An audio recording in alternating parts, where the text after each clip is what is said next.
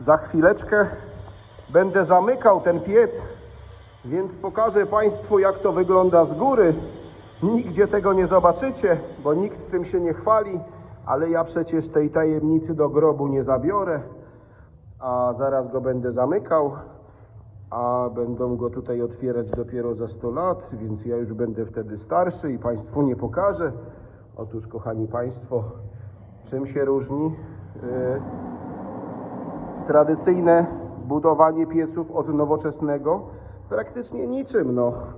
Tam są kanały i tu są kanały, tylko różnica jest taka, że u mnie jest z 500 kg gliny więcej masy i to jest cała tajemnica, że piece budowane tradycyjnie grzeją o niebo lepiej niż te nowe, ale to jest taka tajemnica, proszę nikomu nie mówić. Serdecznie Państwa pozdrawiam i jak zwykle bardzo dziękuję.